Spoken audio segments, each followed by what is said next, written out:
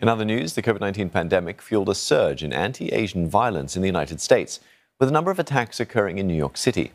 The number of incidents in which Asians were targeted spiked over 350% between 2020 and 2021, according to the city's police department. The volume of anti Asian hate crimes remains elevated, prompting some in the community to take action in an effort to ease safety concerns. William Denselow reports from New York. A rise in anti Asian violence has fueled fears of a chilling effect among residents in Manhattan's Chinatown. We're trying to get back to normal. I think it feels more safe now that there's some people on the street. I, in the beginning of pandemic, you could hear uh, a coin drop and that there would be nobody on the street, so that was really extremely unsafe. I feel a little bit better now. But concerns remain. According to the New York Police Department, there were 139 reported anti Asian hate crimes in the city in 2021. Last year, there were 83. Safety is a paramount concern for not only the residents but for businesses because um, we need to start bringing tourism back to the city. We need to start bringing uh, business back, um, and uh, safety safety is that number one concern. Brian Chin was Christina Yuna Lee's landlord. The 35 year old Korean American was killed by a man that followed her into her apartment in February last year.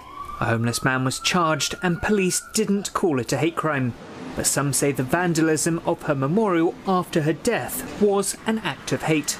Chin has 16 cameras on his property. He says steps like this have become increasingly important over the past few years having security cameras not only um, you know can, can really help secure convictions, it can provide safety.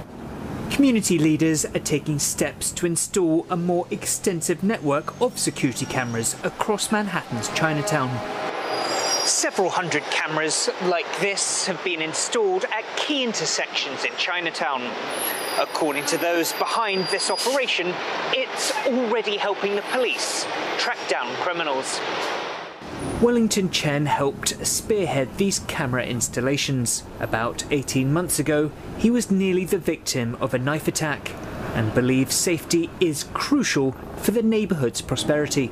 He says many people are taking extra steps to protect themselves. Self-defense classes by uh, local martial artists, the teaching seniors how to uh, be vigilant, uh, the police community council meetings, um, and then the distribution of literature, the scam, the, uh, the you know, the, the pickpocketing, and so there's a there's a lot more awareness now. Many of the attacks in Chinatown are apparently random and unprovoked. Some blame the increased number of homeless shelters in the area. They, they do need help, but the problem is having all these uh, homeless shelters and, and, and rehab centers all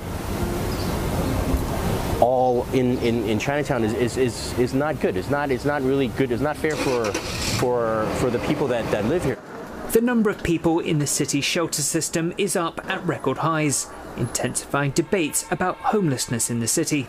More substantive steps are now being taken to try and address the root causes of hate and bigotry. Public schools across New York City will teach Asian American history next school year, and efforts are underway to pass a bill to mandate its teaching across the state. It's a lot easier for people when they need a scapegoat to blame people, in this case Asian Americans, that they just don't know a whole lot about. And the only way to eradicate this kind of ignorance is through our public schools all throughout the states. But for now, the hope is the rise in attacks against Asians seen in recent years and the fear it's generated will soon be relegated to the history books.